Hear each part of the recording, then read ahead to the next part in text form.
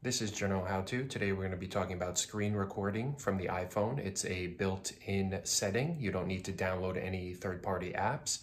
And I'm also going to be talking about sound with the screen recording because I actually just found out now why I wasn't having any sound when I was recording my screen.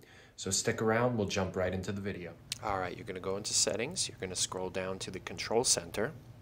Once you're there, you'll notice it is not included in the controls. So you're going to go down to more controls, hit the green plus, which will bring screen recording to the top.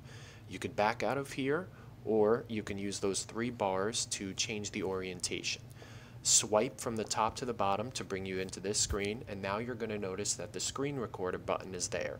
Press and hold it, and you'll notice it gives you the option for the microphone to be on and off. By default, it is off. That's why when I was recording my screen and sending some videos to my friends or family, they would always say there's no sound. And I never knew. I thought there was an issue with my phone.